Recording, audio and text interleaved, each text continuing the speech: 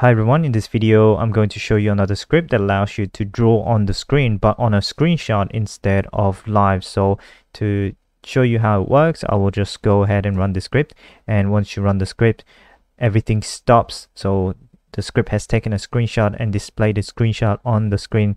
So right now I can use uh, my left mouse button without any other keys to draw on it. By default, the brush color is red, but I can use the mouse wheel up and down to change the color of the brush. So if I change it to pink, for example, it changes to pink and blue is blue, right? And I have the X button 1 and 2 set up to change the thickness of the brush. So if I press the X button 2, the thickness will go up and it will show you a tooltip uh, showing the thickness of the brush. So 11 will be pretty thick you can see as you can see and you can bring it down by pressing the X button 1 on your mouse and X button 1 and 2 are usually the browser forward and browser backward button that exists on your mouse. If you don't have those, feel free to change the hotkey to something else.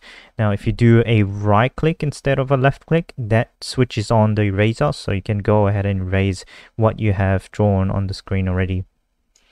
And if you want to get out, you can simply go Alt F4 or the exit key and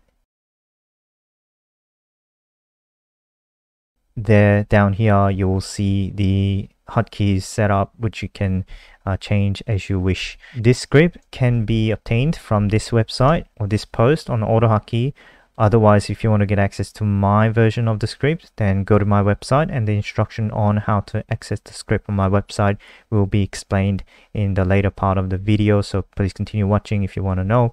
Otherwise, thanks for watching and I'll see you next time.